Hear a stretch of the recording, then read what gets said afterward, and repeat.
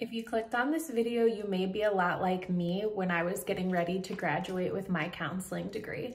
I realized in my last semester that no one ever told me what we could expect to make as therapists and counselors in our field. Welcome or welcome back to my channel. My name is Allyssa Powers and I teach you what grad school didn't so you can thrive in the mental health field. I'm a therapist who lives in Ohio and I own my own private practice. So money is an extra taboo topic in our field because we live with the sentiment that we didn't get into the mental health field to make money. We got into the field because we want to help people, which is probably very true, but we also deserve as master level clinicians to make a living wage. I don't think that's too much to ask. So it begs the question, how much do therapists actually make? So the hard thing about this question is that there is a huge range based off of what state you live in, what kind of work you end up doing, what degree you have. So on the high end, you could work for yourself in private practice and probably make six figures. On the low end, you could work for an agency and probably start out in the mid 30,000s. So there's a huge range there, and there's obviously a ton of in between. So in this video, I hope to give you an accurate view of how much you could expect to make depending on your specific situation. So I'm gonna give you real numbers based off of my own salary as a clinician in private practice. And I'm also going to give you lots of tips and tricks to identify your specific situation and how you can research based off of that.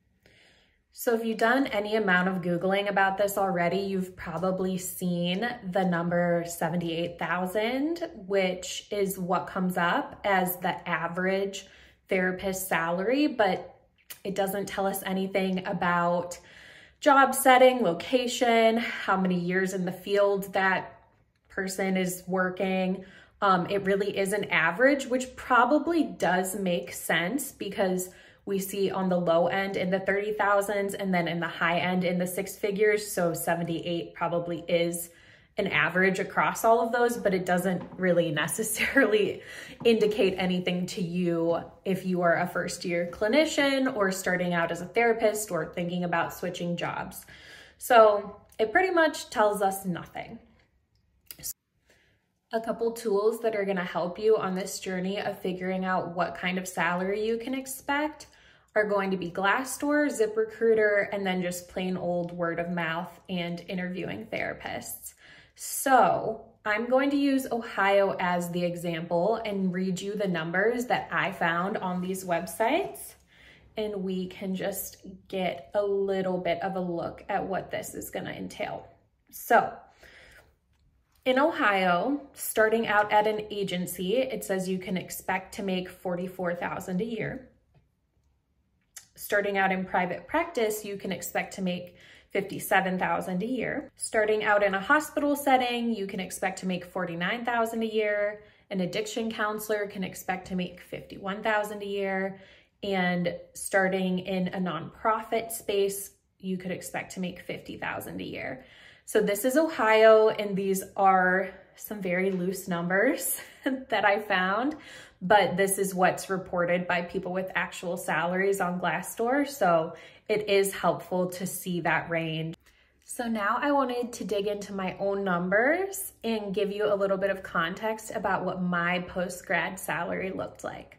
So right after grad school, I went into a group private practice where the split was 40-60. So that means that I gave 40% of everything I made to the group practice, to my boss, and then I got to take home 60% of that, as well as I had to pay taxes on that 60%.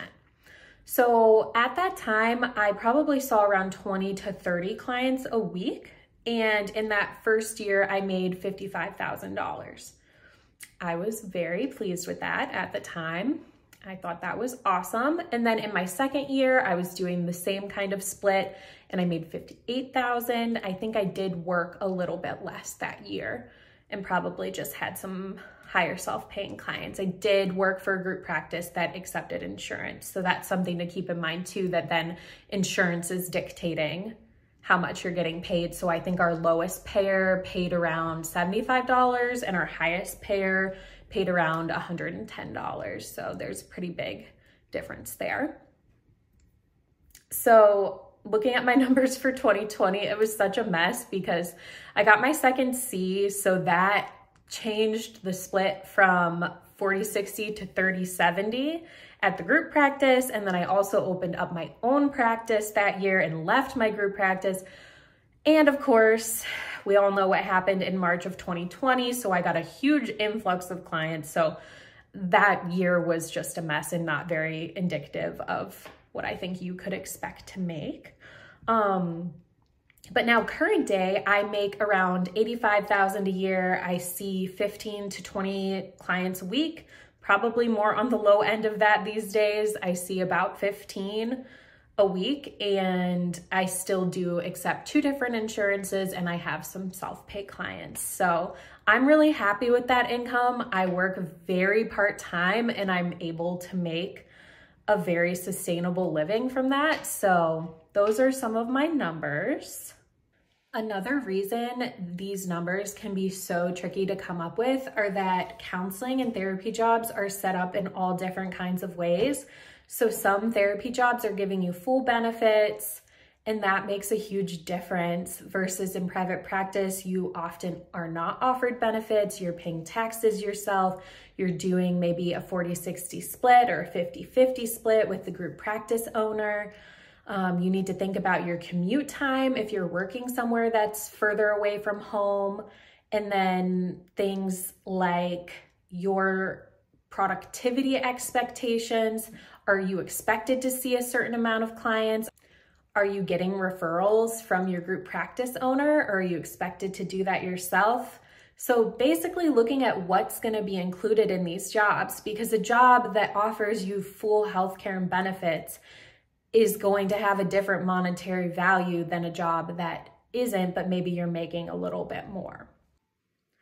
According to the Bureau of Labor Statistics, when we look at master's level therapists, it says that they were most frequently reporting a number around 50 to 52,000 a year.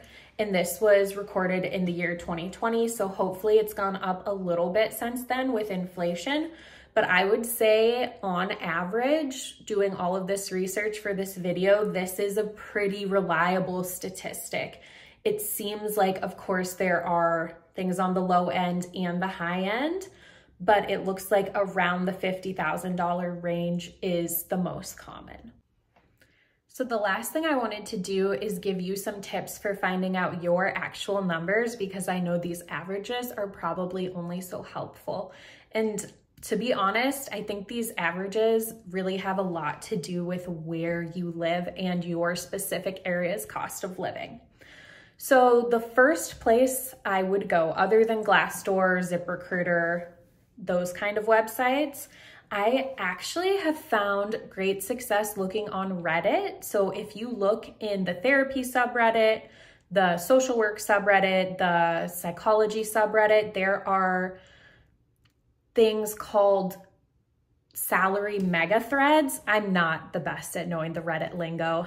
Um, where people will post how much they made in the past year and it will all be, you know, based off of their location, which is really, really cool. And they'll say, you know, I'm in private practice or I'm at this kind of agency or I work in a hospital.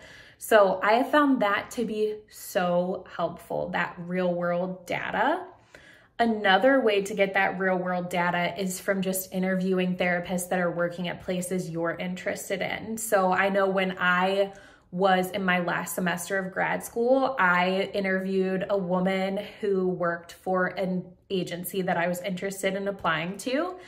And she told me that she made around 35,000 a year, which my career in teaching was very comparable to that. I actually was making maybe even a little more than that at the time. So I was like, oh no, I got a master's degree and I'm gonna make less. This is horrible. Um, and she said the only reason she could even afford to work at that agency is because her husband had a good job. So that could be a whole other video on why, you know, therapists are master level clinicians. We are not doing this as a hobby. We should absolutely get paid a living, sustainable, independent wage. But that was good for me to find out at the time because then I knew, okay, I'm not going to apply for that agency because that's not a salary that I would be okay with. So the last thing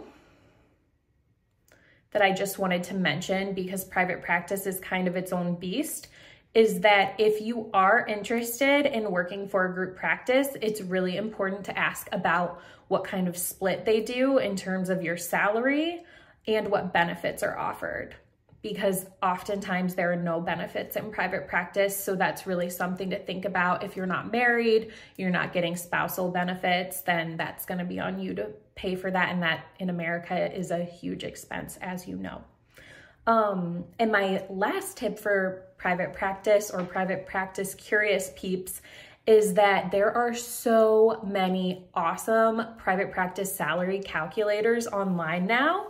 So if you Google that, um, I know Simple Practice has one that's really nice and you don't have to have a Simple Practice account. I do think you have to give them your email, which is a little annoying, but Therapy Den has one. So basically what this is, is you put in like, here's how many clients I wanna see per week. Here's how much I would be charging them if it's self-pay. Here's how much insurance would cost. Here's my overhead and it will calculate out here's how much you can expect to make a year. And I think that is just so awesome because it makes you think about all those other expenses of like, are you renting an office space? Uh, you're obviously paying taxes and there's just so much to think about. So that could be a whole separate thing, but I did want to throw that out there because I would have absolutely loved to have that tool when I was getting into private practice so I could kind of crunch my numbers because you don't really know until the end of the year how much you're going to make.